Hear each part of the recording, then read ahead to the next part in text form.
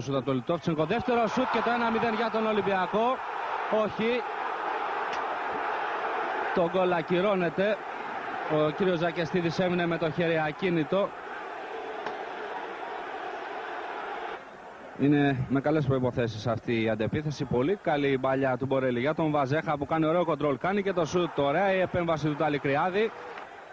Κινείται και ο Παχατουρίδη. Σε δίσταση ο Αποστολάκης βγαίνει και η σέντρα είναι καλή. Ωραία η απόκριση του Βάντσικ. Από κοντά ο Σάβιτσεφ.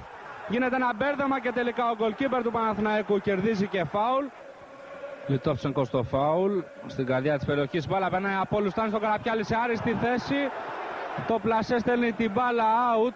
Σαραβάκος και Αποστολάκης πάνω από την μπάλα για αυτό το φάουλ. Ο Αποστολάκης εκτελεί τελικά με πολύ δυνάμεις στην αγκαλιά του Ταλικριάδη όμως. Έξυπνη πάσα για τον Λιτόφτσενκο. Ωραία και η σέντρα. Ο Βάντσικ βγαίνει με γροθιές.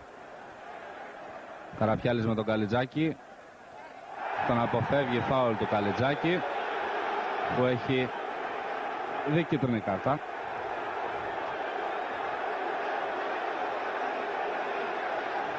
Κίτρινη λοιπόν στον Καλιτζάκη.